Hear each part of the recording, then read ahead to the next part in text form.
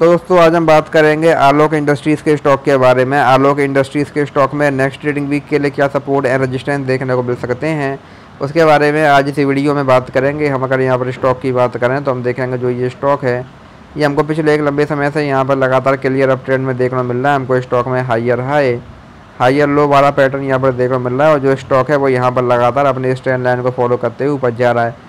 Stock ने multiple times यहाँ पर सपोर्ट लिया, जिसके बाद हमको यहाँ पर स्टॉक में तेज़ी देखने को मिली है। आज भी हमको यहाँ पर स्टॉक में 1.76 परसेंट की यहाँ पर तेज़ी देखने को मिली है। तो यहाँ से अभी हम स्टॉक में बात करें, यहाँ से अगर स्टॉक में ये तेज़ी कंटिन्यू रहती है तो यहाँ से अभी और तेज़ी की कंडीशन में हमारे पास स्टॉक में 28 का पहला यहाँ पर रजिस्टेंस देखने को मिलेगा। अगर स्टॉक इसको ब्रेक करता है दैन यहाँ हमको स्टॉक में थर्टी और अगर स्टॉक इसको भी यहाँ ब्रेक करता है दैन यहाँ हमको स्टॉक में अगेन एक बड़ी तेज़ी, बड़ी बाइंग यहाँ पर देखने को मिल सकती है।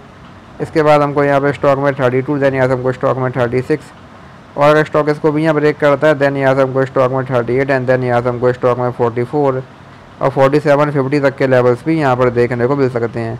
वही यहाँ से अब अगर स्टॉक में गिरावट आती है तो यहाँ से गिरावट की कंडीशन में हमारे पास स्टॉक में ट्वेंटी सिक्स का पहला यहाँ पर सपोर्ट देखने को मिलेगा। अगर स्टॉक इसको ब्रेक करता है देन यहाँ से हमको स्टॉक में ट्वेंटी फाइव और ट्वेंटी थ्री तक के लेवल्स भी यहाँ पर देखने को मिल सकते हैं। एज ए नेक्स्ट यहाँ पर सपोर्ट तो ये स्टॉक में कुछ इंपॉर्टेंट लेवल्स हैं, आप इन पर ध्यान दे सकते हैं। बाकी वीडियो में कोई बाय सेल होल्डिंग सलाह नहीं है। वीडियो केवल एजुकेशनल पर्पज़ के लिए धन्यवाद।